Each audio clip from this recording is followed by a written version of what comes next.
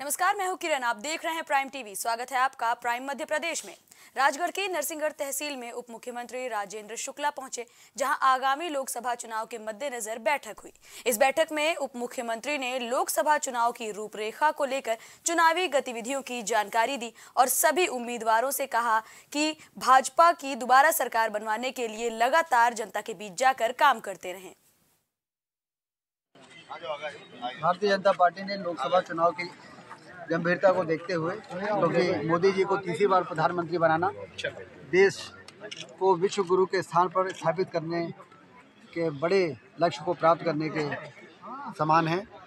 कांग्रेस लिए लोकसभा की बैठकें प्रबंध समिति के सभी कार्यकर्ताओं के साथ बैठक करके आगे की किस प्रकार से चुनाव का संचालन होगा कांग्रेस के कांग्रेस के कार्यकर्ता भी लगातार टूटते जा रहे हैं और कांग्रेस में भी गठबंधन देखने को मिल रहा है। डूबता हुआ जहाज़ की तरह है। और ये उनके कुशासन और सत्ता में लंबे समय तक रहने के बाद जिस प्रकार से उन्होंने गैर ज़िम्मेदारी के साथ काम किया देश की जनता अब उनको समझ चुकी है। इसलिए मोदी जी के नेतृत्व में तीसरी बार जनता उन्हें फिर से अपना आशीर्वाद देने जा रही है। और कांग्रेस के लोगों को ये समझ में आ रहा है कि अब कांग्रेस का कोई भविष्य नहीं है। इसलिए मोदी जी के हाथ को मज़बूत करने के लिए लोग जा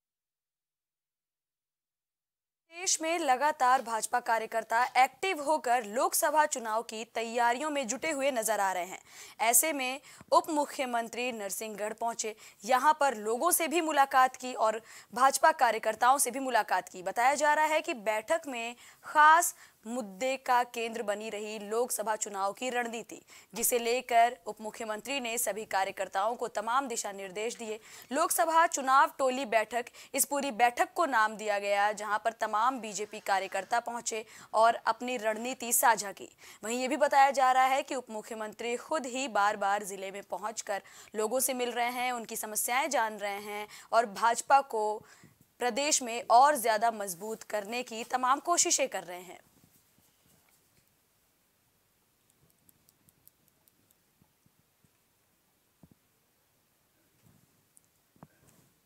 नरसिंहगढ़ तहसील में बीजेपी की एक खास बैठक हुई, जिसमें साफ़ तौर पर यह फैसला लिया गया, ये प्रण लिया गया कि एक बार फिर से तीसरी बार केंद्र में मोदी सरकार बनानी है। वहीं भाजपा कार्यकर्ताओं ने इस दौरान काफ़ी ज़्यादा जोश भरकर ये भी कहा कि एक बार फिर से मोदी सरकार केंद्र में ज़रूर बनेगी।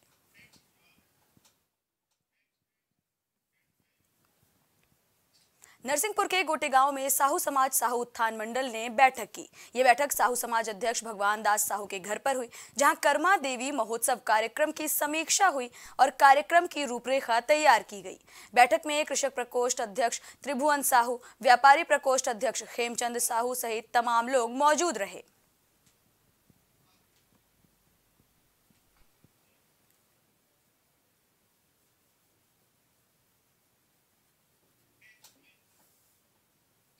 रायसेन में नगर परिषद देवरी तहसील के खापरखेड़ा में माँ नर्मदा के प्रकटोत्सव के शुभ मौके पर गाँव वालों ने भव्य चुनरी यात्रा निकाली। ये यात्रा खापरखेड़ा से लगभग 10 किलोमीटर दूर ककरा घाट तक गई, जिसमें लगभग सभी गाँव वाले मौजूद रहे। माँ नर्मदा की चुनरी यात्रा में पूरा गाँव भक्ति में डूबा हुआ नज़र आया।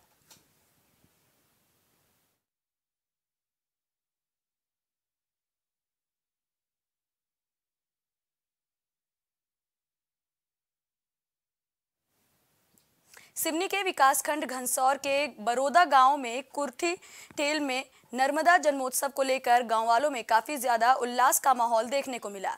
बताया जा रहा है कि ग्रामीण हर साल 650 मीटर लंबी चुनरी माँ नर्मदा को भेंट करते हैं। साथ ही काफ़ी दूर तक भक्त पैदल जाते हैं और माँ नर्मदा को ये चुनरी भेंट करते हैं।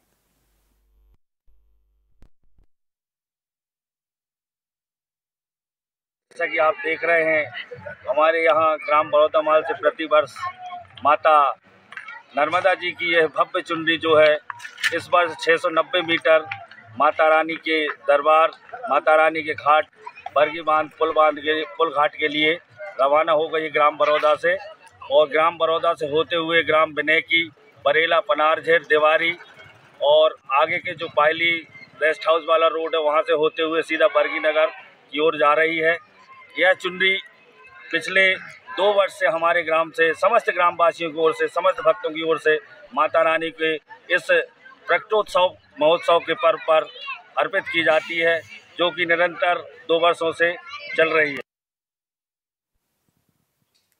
मध्य प्रदेश के छिंदवाड़ा में वैलेंटाइन डे के दिन मारपीट होने का मामला सामने आया है।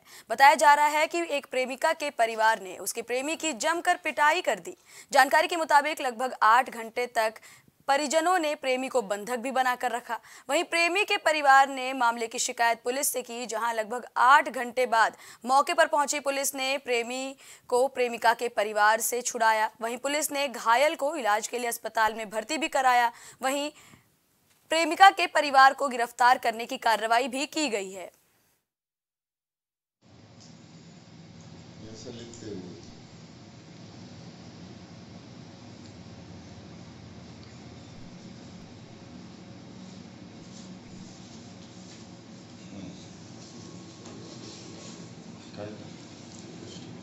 हाँ वही वाला है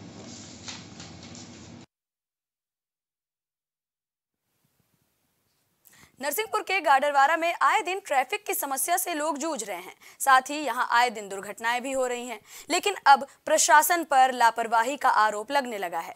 वहीं जब प्राइम टीवी के संवाददाता ने व्यापारियों और स्थानीय लोगों से इस बाबत सवाल किए तो उन्होंने क्या कुछ कहा? आइए आपको सुनाते हैं।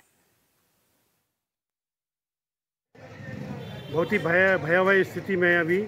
और अभी जो मार्केट की जो स्थिति है अभी, यहाँ पे है शिवालय चौक ले लीजिए, झंडे चौक ले लीजिए झंडे अपना ये गंज ले लीजिए। ये पूरा जो एरिया है, नीचे का एरिया है, इतने बुरी तरह अतिक्रमण के जाल में फंसा हुआ है। इसकी वजह से आने जाने में काफ़ी परेशानी हो रही है। इसके पूर्व में नगर पालिका द्वारा कुछ प्रयास किए गए थे। सुबह जो वहाँ पर सब्ज़ी मंडी का मार्केट लगता था तो उसको वापस किया गया था, मगर स्थिति यथावत हो गई है। आप कभी भी, किसी भी टाइम पे अगर आप शहर के अंदर एंट्री करते हैं तो आपको भारी वाहन ट्रैक्टर ट्रॉली स्कूल बस और बड़ी बड़ी फोर व्हीलर गाड़ियाँ। देखने में आता है कि ये दुकानदार भी अपनी दुक, सामान रोड पर रख लेते हैं। दुकानदार को सामान हमेशा अंदर ही रखना चाहिए क्योंकि उनके पास जो भी ग्राहक आता है ऑलरेडी वो पार्किंग में गाड़ी खड़ी कर देता है जिससे लोगों को आने जाने में दिक्कत होती है, इसलिए उनको भी थोड़ा सा टोकना चाहिए। फैसला किया है कि जो हमारी शासकीय मार्ग हैं, प्रमुख मार्ग हैं और चौराहे हैं, इनका पूरा सीमांकन करा के चिन्हांकन कर दें और अतिक्रमणकर्ताओं को सबको नोटिस जारी करके एक अवसर देंगे एक डेढ़ सप्ताह का। यदि वो स्वयं हटा लेते हैं, स्वेच्छा से हटा लेते हैं तो ठीक है अदरवाइज़ पुलिस प्रशासन, राजस्व प्रशासन और नगर पालिका हम सब मिलके पूरा अतिक्रमण एक तरफ़ कर देंगे। कुछ रसूखदार और बड़ी दुकान वाले हैं मैम इन पर भी कार्रवाई हो पाएगी नगर पालिका की तरफ़ से? बिल्कुल होगी। हम लोग का यही है जो परिषद का निर्णय है कि एक तरफ़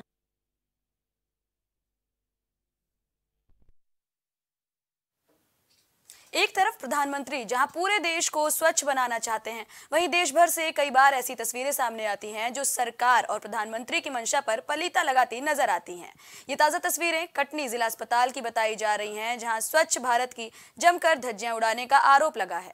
साथ ही मरीजों का कहना है कि यहाँ लाखों रुपए खर्च करते हुए साइकिल स्टैंड और मोटरसाइकिल स्टैंड तो बनवा दिया गया, लेकिन जिला अस्पताल के अंदर मरीजों को बैठने तक की व्यवस्था नहीं दी गई, जिससे मरीजों को काफ़ी ज़्यादा परेशानियों का सामना करना पड़ता है।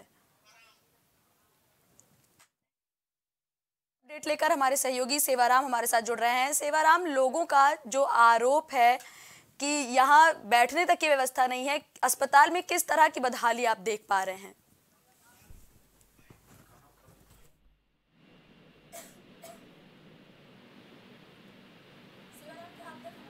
पहुँच पा रही है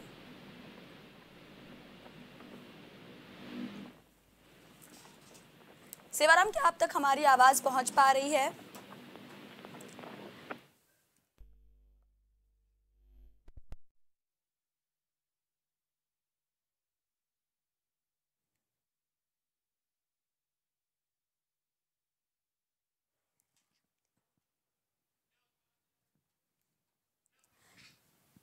सेवाराम, जिस तरह से जिला अस्पताल पर स्वच्छता अभियान की धज्जियाँ उड़ाने का आरोप लग रहा है और अस्पताल पर लगातार बदहाली के आरोप लग रहे हैं, जनता का इस बाबत क्या क्या कहना है? मैम, आज जो है, कटनी जिला अस्पताल में बहुत भारी अनियमितताएँ दिखाई दी गई हैं, जिसमें मरीजों को बैठने के लिए जहाँ चेयर होनी चाहिए, वहाँ हॉस्पिटल के कर्मचारियों एवं डॉक्टरों की गाड़ियाँ और बाइक, साइकिल खड़ी रहती हैं, जिससे लोगों को लंबी लाइन में खड़े होकर के बाहर धूप में, बरसते हुए पानी में और ठंड में इस सारी समस्याओं का सामना करना पड़ता है। हम इसके लिए प्रशासन को उचित व्यवस्था करके, जबकि साइकिल स्टैंड बाहर बने हुए हैं, उनमें न खड़ा कर करके अंदर किया जा रहा है। इसके लिए प्रशासन को इसमें सख्त कार्रवाई करके इन गैर जिम्मेदार अधिकारी कर्मचारियों अधिकारियों, प्रबंधक पर सिविल सर्जन पर कार्रवाई की जानी चाहिए।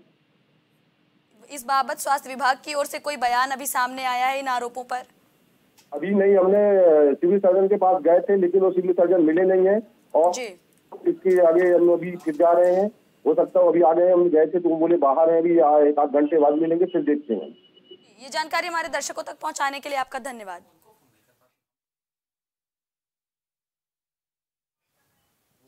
छिंदवाड़ा के संयुक्त सीनियर कन्या छात्रावास में रहकर पढ़ाई करने वाली एक नाबालिग ने फांसी लगाकर आत्महत्या कर ली। मामले की जानकारी मिलते ही मौके पर पहुँची पुलिस ने छात्रा के शव को कब्जे में लेकर जिला अस्पताल पहुँचाया और मामले की जाँच शुरू कर दी है।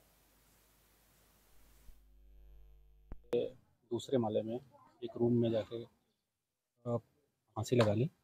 पुलिस को सूचना दी गई पुलिस तत्काल मौके पे आकर के और उसकी तमाम पूरी जो कार्रवाई पूरी करके अभी पोस्टमार्टम के लिए हॉस्पिटल लेके गए हैं। ऐसा लापरवाही लगातार क्यों सुनाई जाती है। इसके पहले भी अमरवाड़ा क्षेत्र में हुआ घटना ये जाँच के बाद ही इसमें कुछ कहा जा सकता है। पुलिस अब इसमें उसके बाद फिर पुलिस को फ़ोन किया गया सब बच्चियाँ बाहर बैठ गई मैं आई देखी तो आप कहाँ यहीं थे? मैं यहीं परिसर में रहती हूँ। जी अभी कुछ जानकारी भी लगी है करके दो दिन पहले भी मोबाइल पकड़ाया था उस लड़की के पास। संडे के दिन उसके माता पिता ने वापस लहजा लिए थे। जी। और नाश्ता वगैरह करी थी उनने सुबह। नाश्ते के बाद अचानक? हाँ पढ़ने जा रही हूँ फिर उसने फांसी लगाई।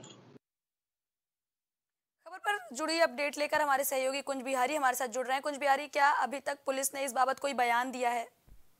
नहीं मैडम कारण तो अभी अज्ञात बताया जा रहा है। और पूर्व में भी ऐसी घटना पहले एक और छात्रावास में हुई थी जो अमरवाड़ा में हुई थी। इसके बाद भी प्रशासन नहीं जा पा रहा है। क्या स्कूल प्रशासन की ओर से कुछ बताया गया कि बच्ची परेशान रहती थी या ऐसा कुछ भी? नहीं ऐसा कुछ नहीं बताया गया है। इसी कंडीशन में प्रशासन के आला अधिकारी भी वहीं पे है मौजूद। एसटीएफ की टीम भी है साथ में। जी। अभी कारण अज्ञात ही बताया जा रहा है। जी इस खबर पर हमारे साथ जुड़ने के लिए आपका धन्यवाद कुंज बिहारी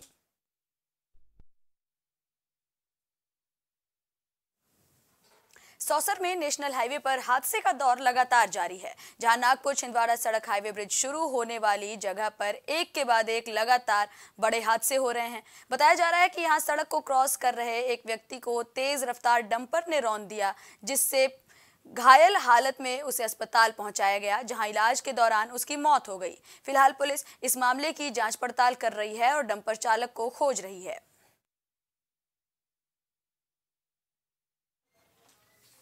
फ़िलहाल प्राइम मध्य प्रदेश में इतना ही। देश दुनिया से जुड़ी तमाम खबरों के लिए देखते रहिए प्राइम टीवी। कुछ भाव पुष्प। आप देख रहे हैं प्राइम टीवी। सच साहस सरोकार।